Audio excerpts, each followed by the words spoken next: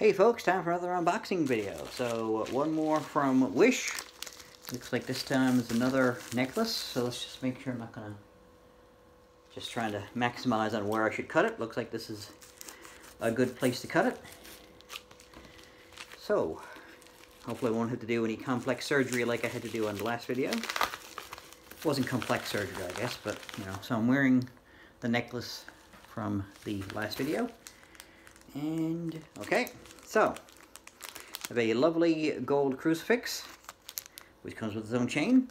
So, I think I shall, well, there's no thing to actually tear it open anyway, so I'll just go ahead and uh, cut it open like I did last week. Not complex surgery so much as just, you know, anyway. So, let's find out whether or not the chain, hopefully the chain's long enough to go on me. So let's thread the chain through the hoop, whatever you want to call it, on the crucifix.